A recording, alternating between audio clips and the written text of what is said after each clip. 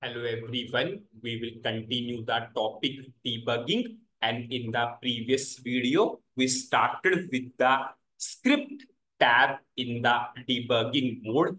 And we are covering how to stop SAP debugger on selection of tables using the script tab.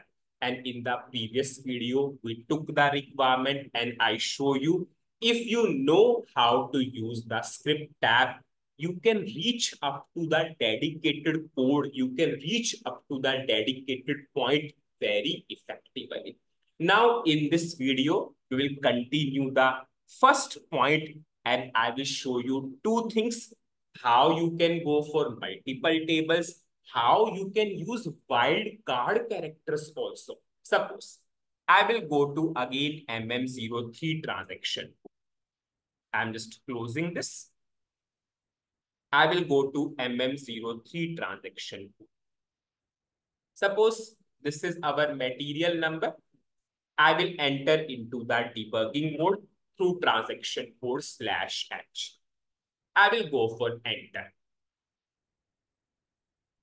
Now I will not go for select. I will not put a breakpoint on select statement. I will simply use the script tab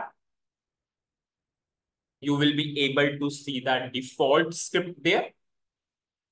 If I will click on to load script, you can see, okay, now we are getting this select tab because in the last video, we choose this.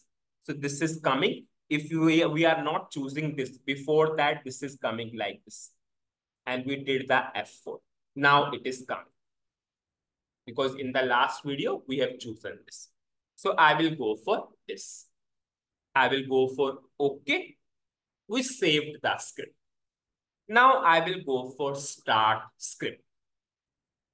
Now here we can choose the multiple tables. Previously I showed you Mara. Suppose I want to go for Mara also.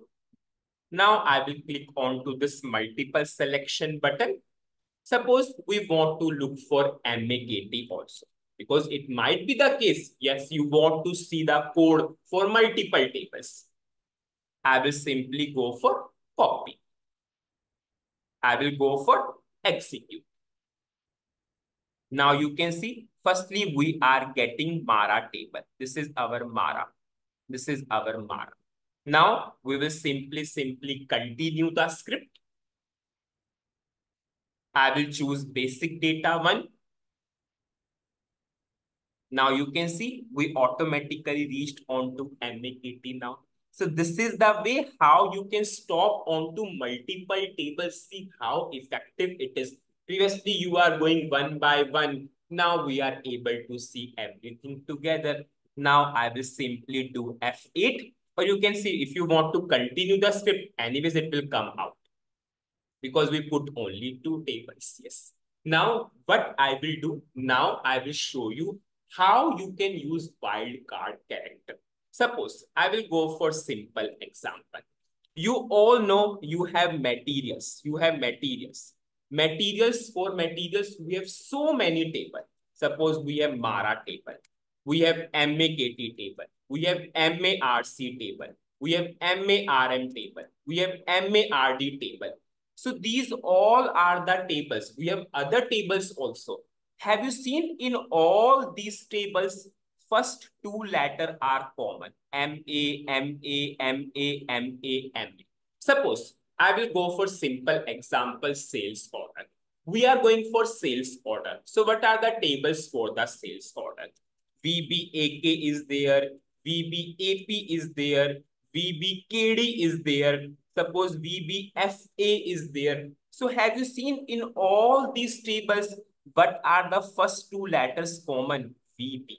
Suppose in this MM03 transaction course, you want to check what are the tables, what are the various tables which SAP is using to display the data.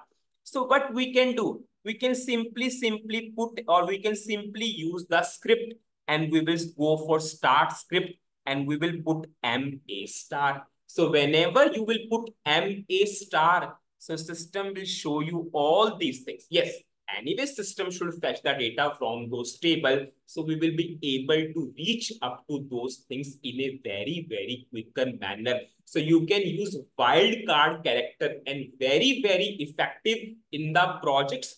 We use this particular thing. Suppose I want to check from where the SAP is using MARD table, MARM table. So I'll simply go for MA star. So it will show me each and everything one by one.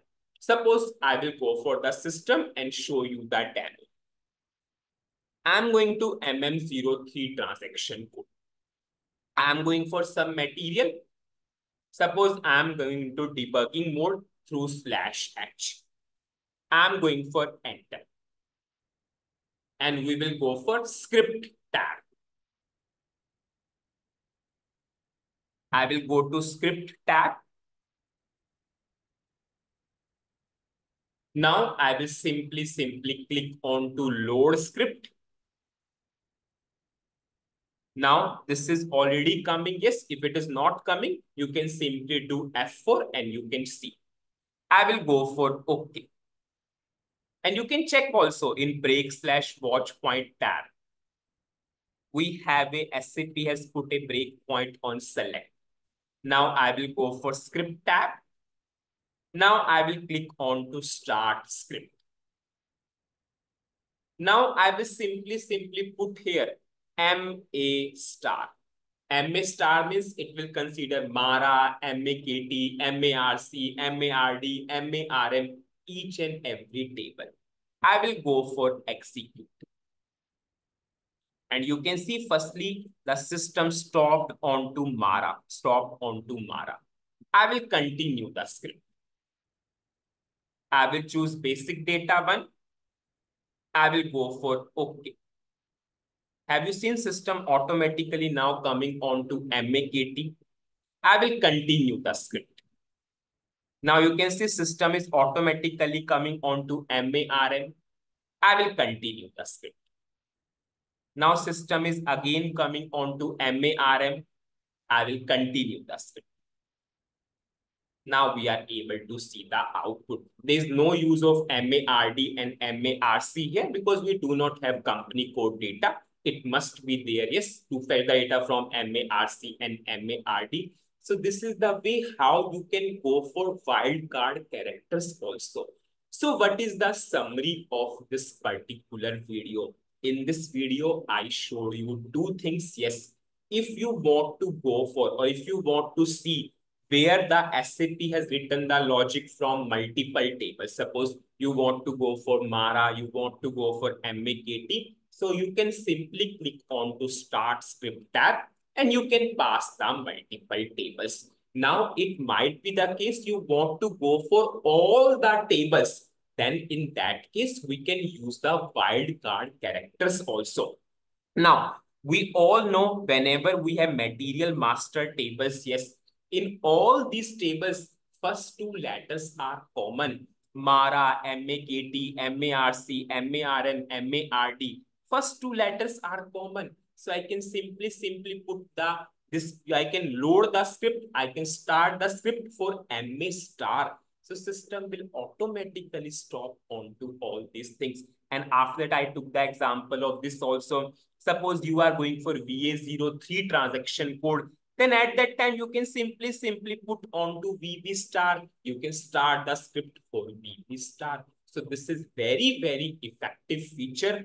How you can use script tab to reach up to a dedicated table where SAP has written the logic to fetch the data. Now, in the next video, I will show you how we can use the script tab for the updation of database table. Updation of database table means insert, update, delete, modify all those database operation. This part will be covered in the next video. So that's it in this video. Thank you.